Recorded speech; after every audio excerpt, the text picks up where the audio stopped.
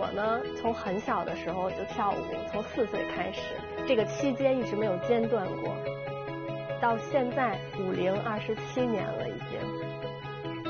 有的时候回想起来会想，人生有几个二十七年？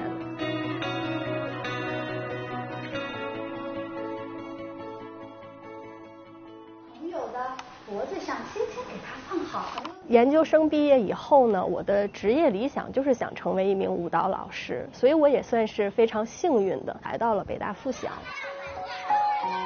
任教有六年了，对孩子的了解呃也比较的多。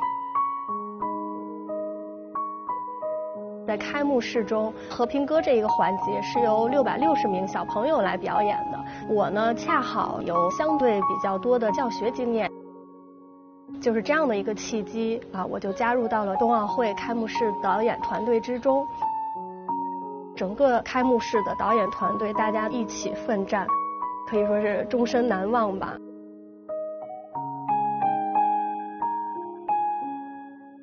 我记得张艺谋总导演在倒计时二十七天的时候给我们开总结会。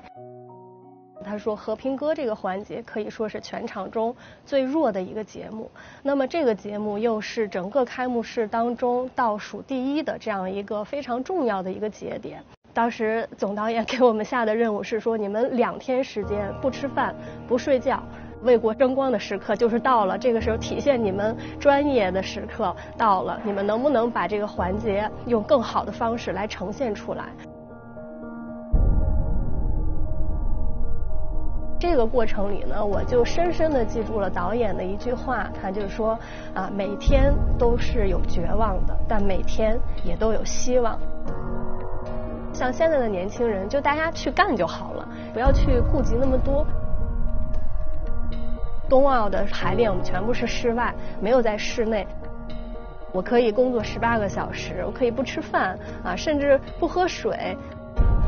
冬天最冷的时候，下雪的时候，我们也在鸟巢排练，就完全是靠着一颗特别炙热的心来支撑整个这个工作。大家全都是拧成一股绳啊，一起就为这个开幕式来去奉献自己的这个力量。这个过程，我觉得对自己是非常非常宝贵的一个经历，人生财富吧。千万雪花竞相。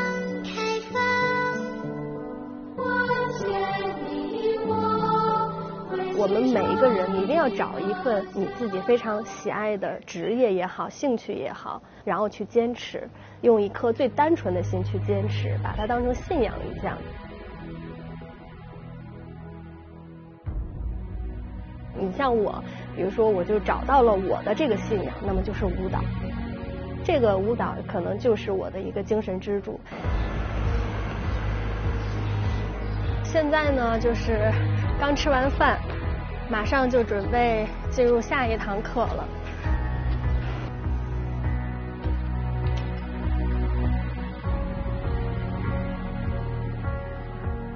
在成人普及教育方面上，比如说我们的大学生、研究生、博士生，他是非专业的，那这些学生怎么样来学习舞蹈？可能你对他的输出更多的是舞蹈背后的文化内涵。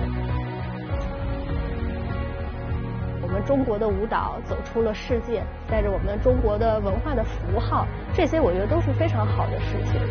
作为一个舞蹈工作者，这个是我们要做的一件事儿。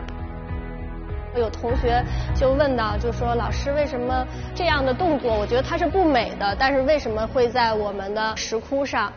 那我就觉得这是一个很好的一个问题。现代人认为美的东西，那么在那个时期是不是美的呢？或者当时他们认为美的东西，我们觉得是不是美的呢？我觉得这个背后一定是有我们长久的文化的底蕴在这儿的。我最近呢非常喜欢里尔克的一句话，他在给青年诗人的十封信中提到：愿你有足够的忍耐去担当，有足够单纯的心去信仰。我们都会遇到各种各样的不顺心或者是困难，那我们有没有足够的坚韧的心理？你能够把它承受下来，嗯，然后把它跨过去。我觉得这个事情是非常非常难的，所以一定要坚持。在我们二零二二年的今天，我们的综合实力已经非常非常的强大了。我们只要大胆的去把你心中认知的这些信念表达出来，这个就是中国当代青年的文化自信。